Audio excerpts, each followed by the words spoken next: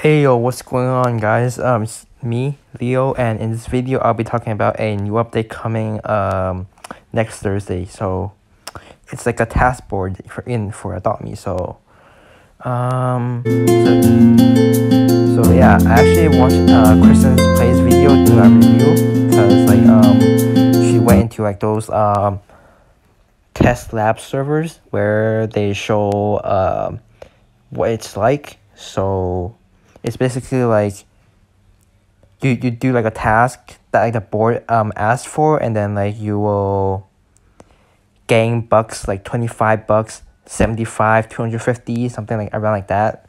Depending like maybe like uh visit like the pizza shop um hatch two mythic eggs hatch an egg stuff like that. So like i think like um tasks um built up in every eight minutes. So like it's easier for you to get bucks like having like a task board just saying just saying. So if everyone enjoyed this update or this video make sure you smash that like button. Also uh subscribe if you haven't because yeah i do updates videos for this again back back again and also making neon videos like neon pet videos. I have three neon legendaries coming. Um but i must put them in one video and i'm quite busy lately so i'm just gonna